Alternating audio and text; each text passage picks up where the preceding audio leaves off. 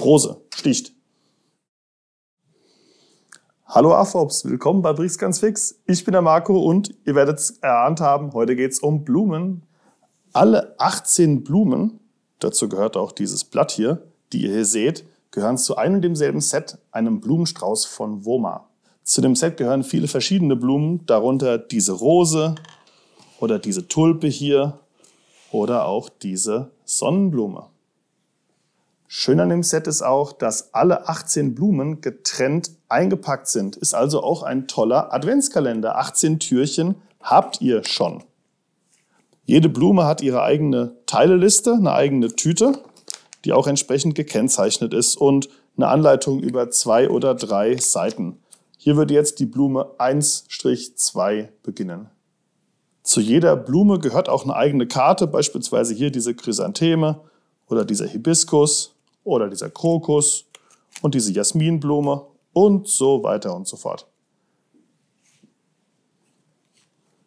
Rose sticht. Witzig ist hier auch die Verpackung, denn das Ganze kommt so als aufeinander gesteckte Trommel. Müsst ihr euch hier noch den Deckel drauf vorstellen.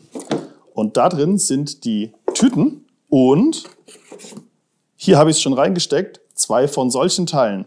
Äh, kann man eindrücken und dann diese Blumen reinstecken. Und das hier ist nur ein Abstandshalter, damit man das hier so erhöht stehen hat. Hier sind Tüten drin, da sind Tüten drin. Das ist so eine große Trommel, wenn ihr das Set bestellt. Ihr wisst, wir haben jede Menge solche einzelne Blumen für 4,95 bei uns im Online-Shop oder in den Stores von Moju oder von Sembo. Aber das hier sind 18 Blumen für 49,95, also ein sehr guter Deal pro Blume. Und wie gesagt, das sind drei Viertel eines Adventskalenders. Diese beiden Vasen sind momentan leider nicht lieferbar. Ich hoffe, die kommen wieder. Aber diese Vase hier ohne Inhalt, aber mit schicken Prints, ist momentan bei uns verfügbar.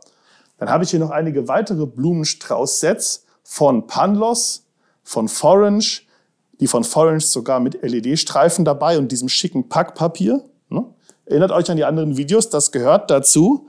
Und hier ist noch ein Blumenstrauß von Sembo. Für Noppenstein-Enthusiasten wie mich vielleicht auch interessant, hier sind ein paar spannende Teile drin, die ich so woanders noch kaum oder gar nicht in den Fingern hatte. Beispielsweise die hier. Sehr cool. Noppensteine kann man nie genug haben. Demnächst gibt es noch mehr. Ich wünsche euch viel Spaß beim Bauen. Contra!